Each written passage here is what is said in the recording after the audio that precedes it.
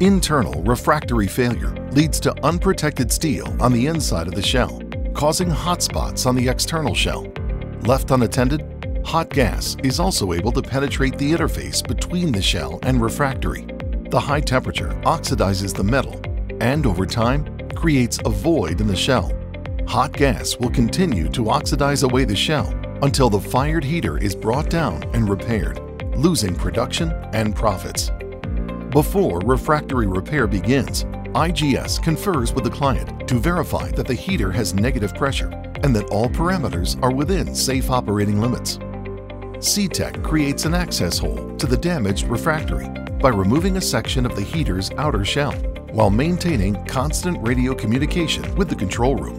After the access hole is complete, any potential damaged refractory is removed.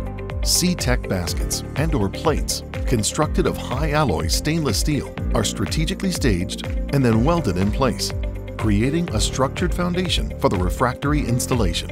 Unknown refractory failures can be repaired online without the need to crash the heater or impacting production.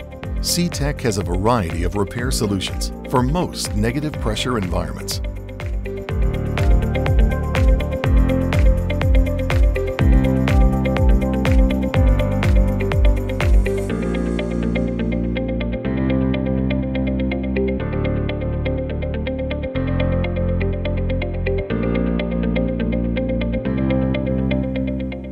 Lightweight castable refractory is introduced to fill the gap between the base of the installed baskets and the outer shell of the heater.